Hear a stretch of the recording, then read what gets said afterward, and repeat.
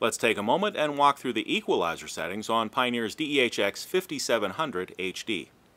So from any source, we're going to press in on the volume control, and we're going to roll along until we find the audio menu. Here's the audio menu, and press enter. And then we're going to roll along until we find the EQ settings. Here we are with the EQ settings, and press enter.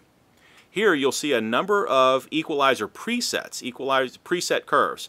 Flat curve, super bass, powerful curve, natural curve, and the vocal curve. Many of these preset curves may sound very good to you, and if they do, you can use those. Or you could go to one that sounds pretty good and some, make some adjustments to it. So let's go over to the next setting, which is custom number one. And we will press in on the volume control.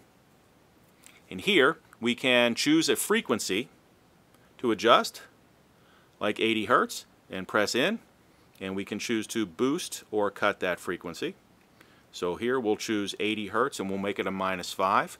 Press in again to go back to the frequency and we will choose uh, 2.5K and press in and make an adjustment there of plus 6. So we've made an adjustment to custom number 1. Now the custom number 1 EQ setting is an independent EQ setting for each source. So the CD source the auxiliary input source, and everything plugs in through USB and AM-FM all have their own custom number one settings.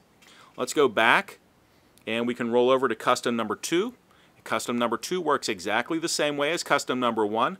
We press in, we can make an adjustment uh, to uh, a given frequency and uh, choose a different one. There. The custom number two is a shared EQ setting across all sources.